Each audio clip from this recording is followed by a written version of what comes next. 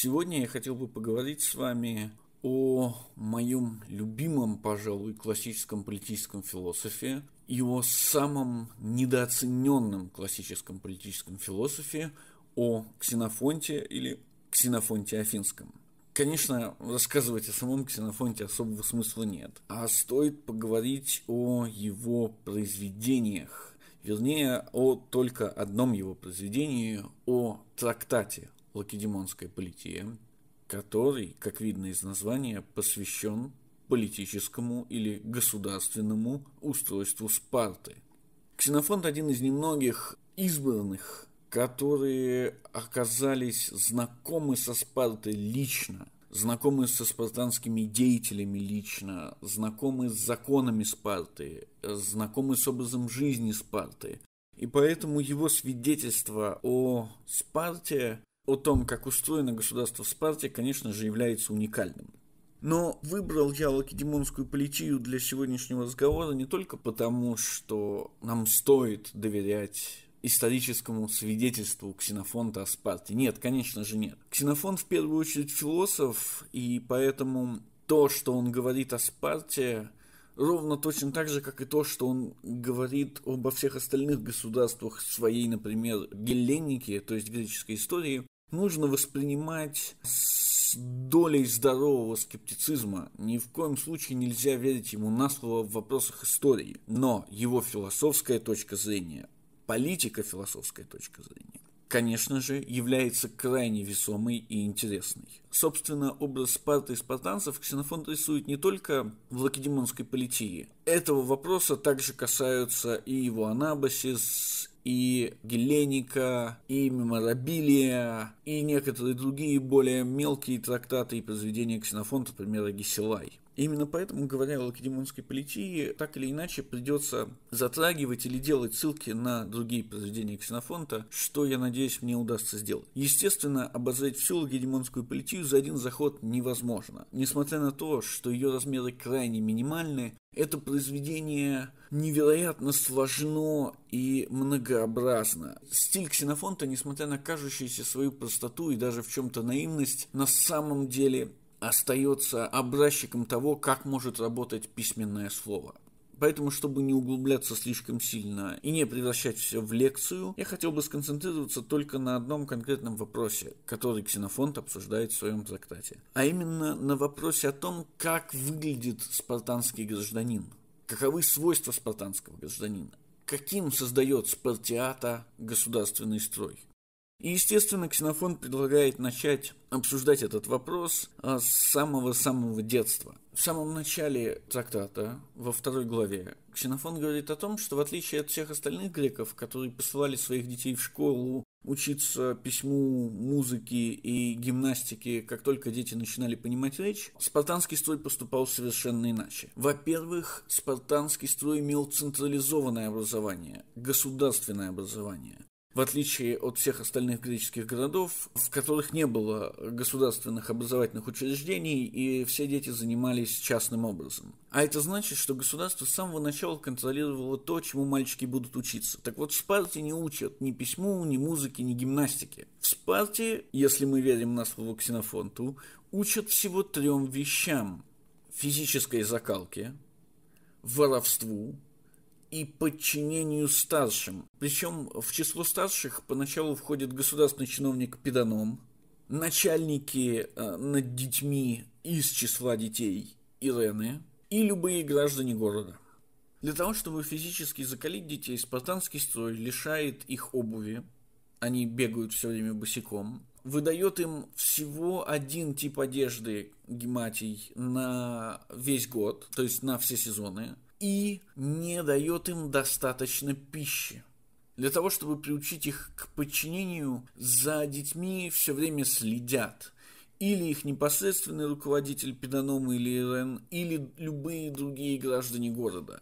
А в случае провинности они немедленно наказываются. Для того же, чтобы научить детей воровству, их, во-первых, не докармливают, во-вторых, постоянно следят, и, в-третьих, наказывают. Ксенофон прямым текстом спрашивает, зачем же Ликург назначил детям наказание, если он считал воровство хорошим делом? И тут же объясняет причину. Дело в том, что законы Ликурга учат детей не просто воровать еду, они учат делать это эффективно. Иными словами, суть обучения детей в Спарте заключается в том, чтобы научить их эффективно нарушать закон. Для чего, естественно, нужен стимул к такому нарушению? Нехватка пищи. Нужна минимизация возможности такого нарушения, постоянная слежка. И, наконец, нужно жестокое и немедленное наказание тех, кто не в состоянии эффективно нарушать закон, что обеспечивают как Ирены, так и Педаном, так и отдельные спартанские граждане. Когда из детского возраста мальчики переходят в отрочество, наступает следующий этап воспитания будущих граждан. Дело в том, что спартанские власти считают, что Отрокам более всего свойственны самомнение, наглость и стремление к удовольствиям. Именно поэтому спартанцы накладывают на отроков огромное количество дополнительных обязанностей. Плюс обещают им, что если они будут уклоняться от этих обязанностей, то их лишат неких политических преференций. Плюс для того, чтобы следить за отроками, теперь отряжаются не только государственные власти, но и их непосредственные родственники. Как вы видите, это следующий этап обучения. Мы предполагаем, что это новый этап обучения тому же самому нарушению закона. Но теперь речь больше не идет о воровстве еды, потому что на самом деле отроки уже питаются вместе со взрослыми, о чем Ксенофон говорит далее. Речь идет об углублении этого навыка нарушать закон. Вы видите, во-первых, усиливается наказание. Теперь мальчики не просто получают удары, как это было на прошлом уровне, когда они были с детьми. Теперь они лишаются политических преференций, что намного серьезнее. Во-вторых, усиливается и степень надзора. Раньше за ними следили только государство, их старшие сверстники – и любые граждане города. Теперь за ними следят те граждане города, которые ближе всего находятся к ним, то есть их собственные родственники. Таким образом, мы снова получаем идею. Стимул, наказание, слежка. И, повторюсь, все это ведет к углублению привычки или навыка или способности нарушать закон. Затем, когда мальчики переходят в юношеский возраст, говорит Ксенофонт, государство решает внушить им любовь к победе. Заключается эта любовь к победе, естественно, к ненависти к своим соперникам. Для того, чтобы сделать юных спартиатов соперниками друг друга. Власти в лице Эйфоров выбирают трех лучших юношей, а затем заставляют каждого из них набрать себе по сто сверстников, при этом разъясняя каждому – почему он берет одного и отвергает всех остальных. После чего эти три группы начинают враждовать друг с другом. В первую очередь они начинают следить друг за другом, следить за тем, как бы кто-нибудь из их противников не нарушил, как говорит Ксенофонт, кодекса чести, не поступил опрометчиво. Во-вторых, из-за растущей вражды они получают стимул постоянно выказывать свое превосходство над противниками. И, конечно же, в-третьих, как следствие вышеназванных первых двух пунктов, все эти три группы начинают постоянно драться друг с другом. Новый уровень воспитания, цель которого все еще остается той же самой, потому что Ксенофонт не заявил других целей – предполагает новый уровень слежки. Теперь в эту слежку включаются уже сами молодые спартиаты.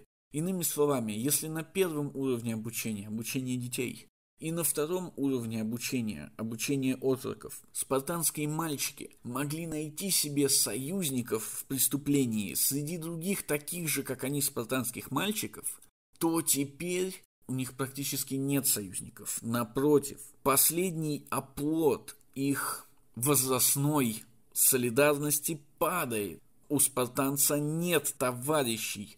Все остальные спартанцы представляются ему противниками, либо прямыми противниками, то есть конкурентами, либо потенциальными противниками, то есть теми, кто готов немедленно сдать его властям.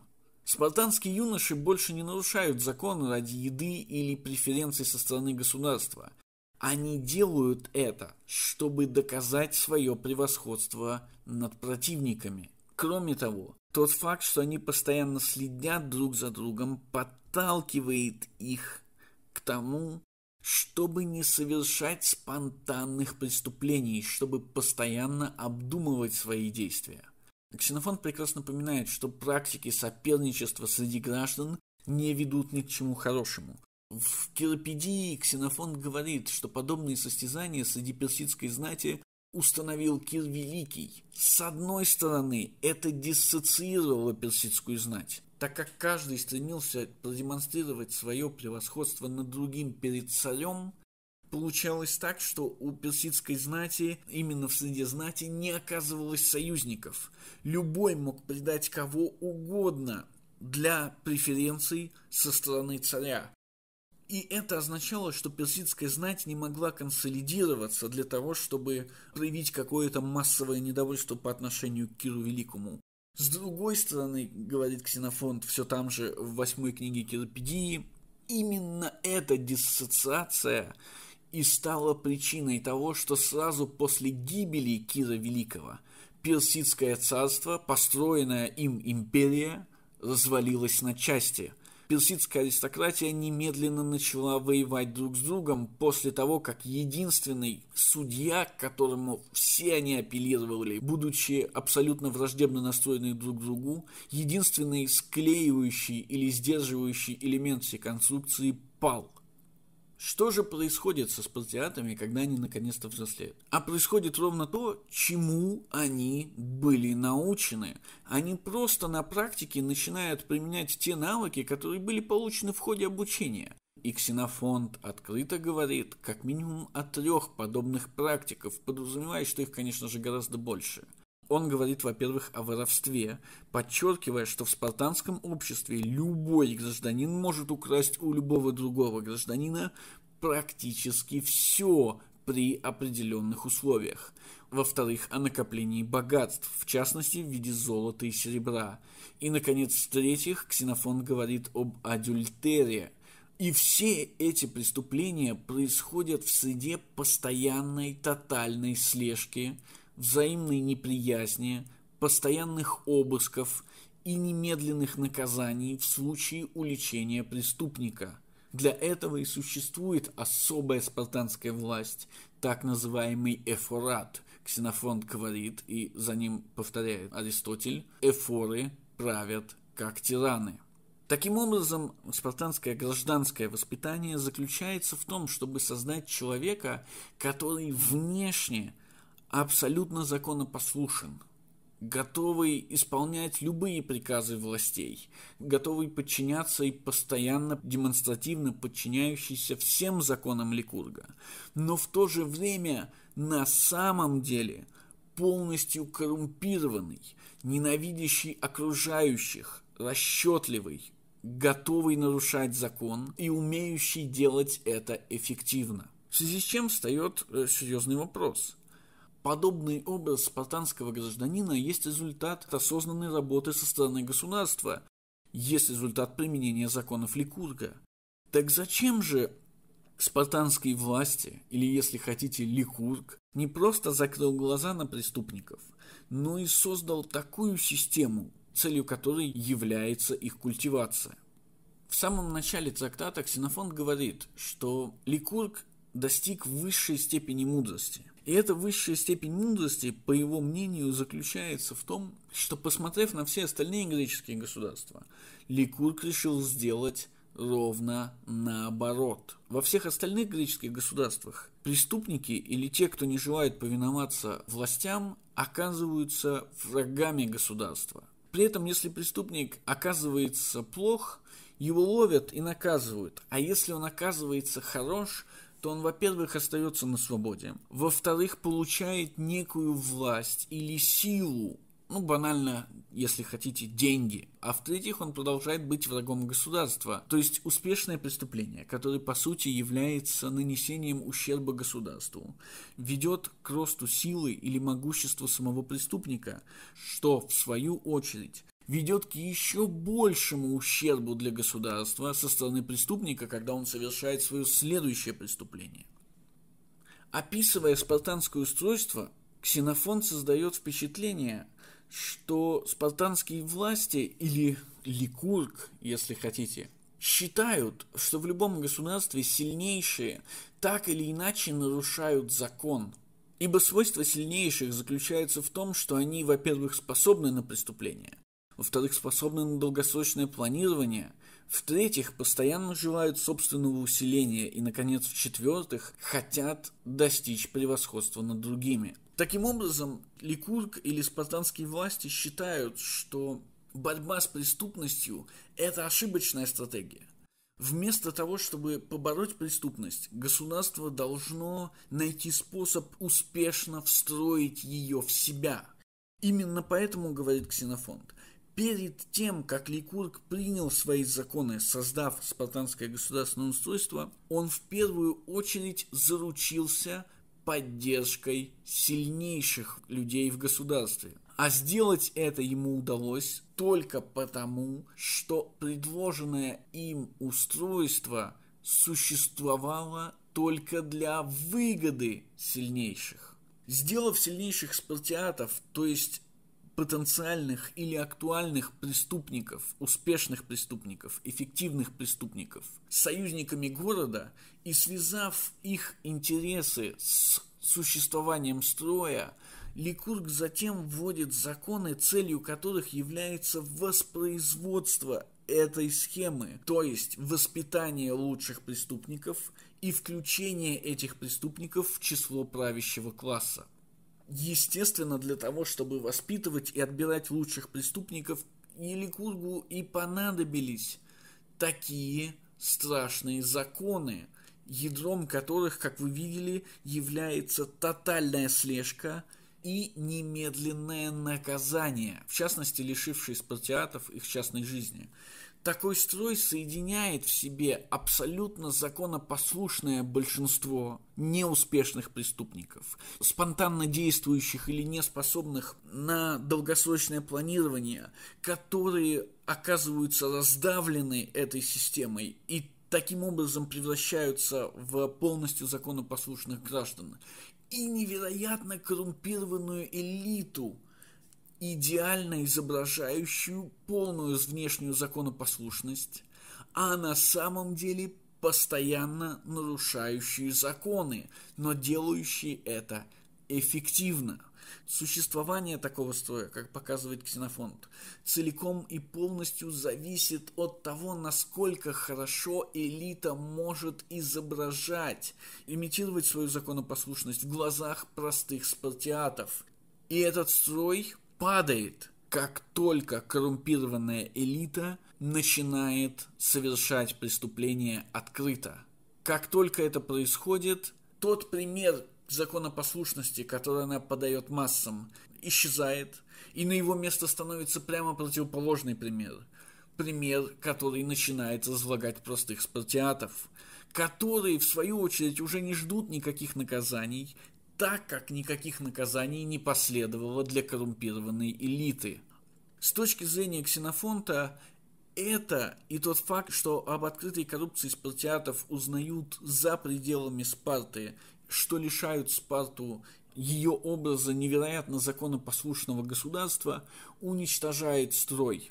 Ликург или спартанской власти поступили не так, как все остальные греки. Спартанское государственное устройство оказывается абсолютно удивительным и крайне интересным. То, что попытался сделать Ликург, говорит Ксенофонт, не попытался сделать больше никто. Однако это уникальное государственное устройство с самого начала заключало в себе семена собственной погибели.